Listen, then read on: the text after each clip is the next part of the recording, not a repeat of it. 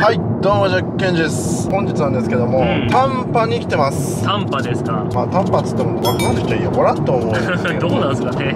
フロリダのマイアミがあってオーランドがあってタンパっていうね3つあるんですけど、その中のタンパから今マイアミに向かってます、はいはい。正直ねこのルートね今高速道路のお金払って通ってるんですけど、ん。これ完全に江ノ島ですよ。そうだね。ありますよね。江ノ島のなんか有料道路デートスポットみたいになってる道ありますよね。ん。完全にそれに今乗ってますタンパね俺一番良かったかもしんない。あ短波一番良かった。人当たりがいいよ。みんな優しい。確かに確かに。俺絶対住むならタンパだね、はいはい。なんもないけど嫌な思いそんなしないじゃん。だしないね。からタンパでいいなっていう感じですね。はい。で今ね視聴者さんのね名前出しちゃあれなんでゆうさんっていうね、まあ、梅沢さんなんですけどっていう方から連絡ありましたその人なんかマイアミに住んで長いらしいんですよ。そんな人にメールでねはい。行った方がいいですよっていうのをすごいメールでいただいたんで、はい。それを参考のもとに移動してるんですけど、はい。綺麗だよね。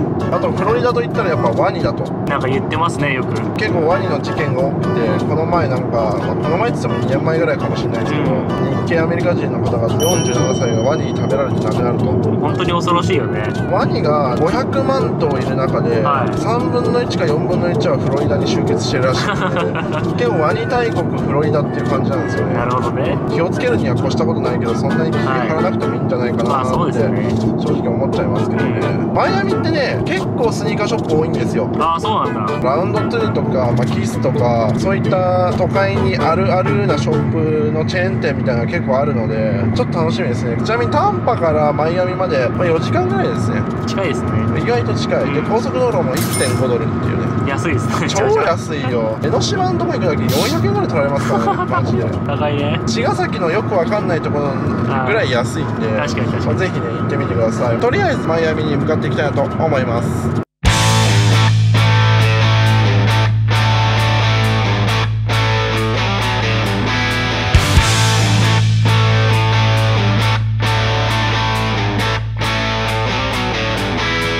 はいどうしたんですか僕がトイレ行ってる間。なんかこれすごいじゃないですか、はいはいはい。ワニの本物らしいんですよ。こえれー、これは？で俺も知らなくてこれでなんかこう見てたの。怖いな。とさ後ろから急に全然知らないおっちゃんがあ「ってうわっつってビビったかやーって言われて「いあやそれはビビるよ」でそれで見たことあるみたいな「Have you ever seen?」って聞いたの。ああその辺の湖にいるぜって。えー、これとこれよこれ。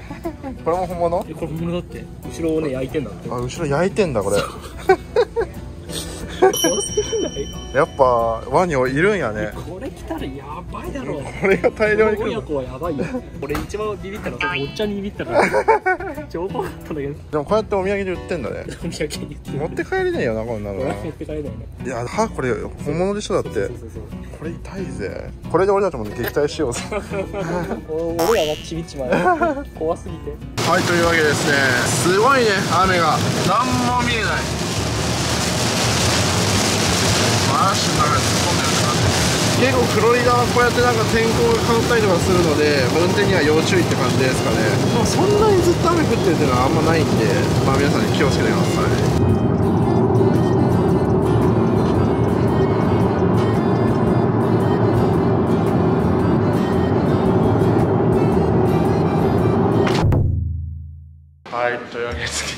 癖が強いのよ。これは何ですか？ここはホテルですか？もうホテルやばいでしょ。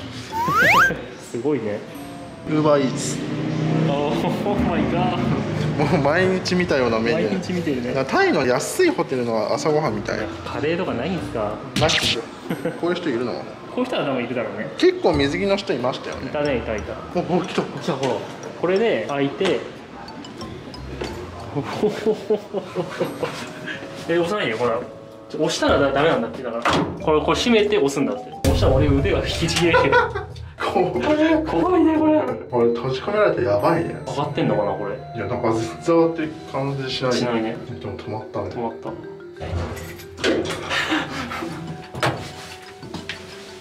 怖これ怖いね。うんいやー、これはちょっと部屋がやばいんちゃう開いたあ、ちょっと。あまあ別に。まあこの鳥が超怖いよ本当怖いね。意外に中はねまあまあだね。これ何？ウォークインクローゼット？人が入れるぞもう完全にそうね。ウォークインクローゼットだね。これ結構いいね。うんこれいい。でここ机がここ2つあるねちゃんと。お本当だ。これで食べれるね。まあいいんじゃないですか、まあ悪くないね。マイアミってめちゃめちゃ高いのよホテル。あそうなんだ。だってちょっといったら70万円1泊。70万？1泊なんですやばいねここは？3泊で。安すぎえるでもここしかないのよ。まあ確かにね。安いのは。このホテルを大事に行きましょうねはいというわけでマイアミ歩いてるんですけど、ん。タイやん 完全にマジで。マジでタイ。空気感がタイに似てる。すごく。確かにね。似てる似てる。やっぱバカンスに来てるなって人がすごい多い印象を受けますね。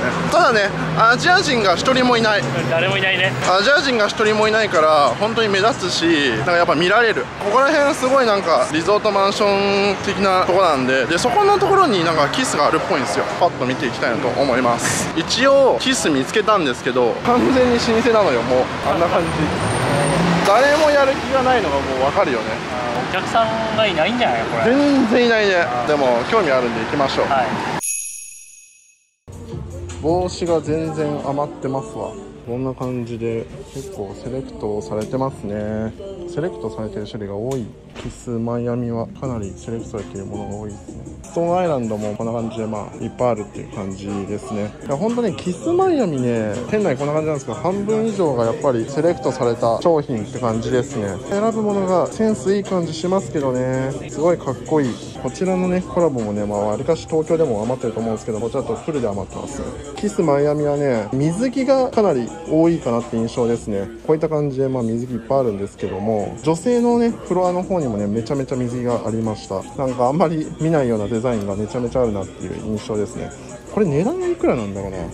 結構高いな。345ドルする。でも結構デザインかっこいいんですよね水着。水着に345ドルはちょっとビビっちゃいますね。というわけでこちらポール1ですね。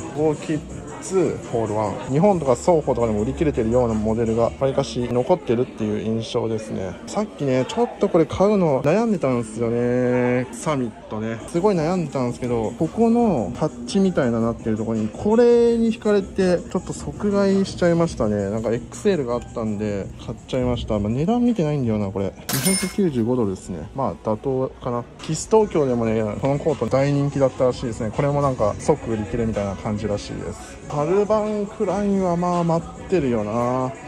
あとテニスもいっぱいあるみたいな感じですね。おかえり。どうでした？なんかみおみくんがジム行った帰りみたいな感じすごいんですよ。まずこの箱箱っていうか袋超綺麗うんきれいきれいだねマイアミのカラーなんですよ。あそうなんだこの白の。そうそう結構前にさニューヨークの10周年のキャップあったあった。覚えてます？ありました。ああったんだ。いいね。まあ、ただね袋がなかったりとかもうこれシールがなかったりとか。あそうなんだ。はそうするんで、いはい。商社に売りつけます。なるほどね。これはいいんですよ。これ何？お前荷物どうすんねんっていうね。これね、うん。ジャケットがちょっと。いジャケットがあったんだ。マイアミ限定なの？いよ全然何やってんだお前。お前本当何やってんだお前。荷物どうすんだよこれ。そう言われても仕方ねえか まあね。これ売り切れてるんですよね東京だと。ないんだ。なくて、はいい、らねえかなと思ったのよ。正直、うん。ぶっちゃけいらん、でもここはね限定なんですよ。ハンガーがあこれ？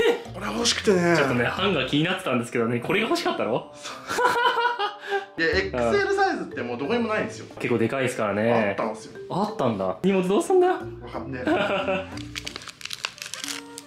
おおこれのために僕は買ったんでああそうなんだ。結構店員はね女の人がやっぱり素晴らしい、対応が素晴らしい。まあ、XL ね僕サイズプロなんで大体わかりますよ。ああいいですね。はいはい。この格好はちょっとあれだけど、ままあまあそうだねあ、サイズはねこんな感じです。いい感じですね。大体ね中にこれ着るんですよね、はいはいはい。パーカーであったりとかなんかうんうんうん。着るので、あんま僕デニムっていうイメージないですけど。あんまりそうだね。はいというわけでですねまあキスマイアミね、うん。まああんまりほぼ女性用キスみたいな感じですよね。確かに見た感じはそうだよね。そんな感じでしたね。そんな感じですよね、女性のためにいっぱい水着やったりとか。そうそう水着がすごい多かったそういっぱいあっぱいあったね。俺も誰か着させたいな。いやいやあれからね女の人来てもティーバッグ丸見えの人えー、なんで呼んでくれないんだよ。ゃめちゃちゃいたかなあそうなんだ。女の人がいっぱいいたんで、はい。まあ、そういうところなのかなみたいな感じなるほどね。まだ全然ねマイアミのこと知らないんで、まあ、はいこれからちょっとご飯食べて明日ねいろいろ回ってみたいなと思います。そんな感じで今回の動画終わりたいなと思います。この動画いいなと思って参考になったと思ったらグッドボタンチャンネル登録の方よろしくお願いします。そんなので終わります。じゃあねバイバイ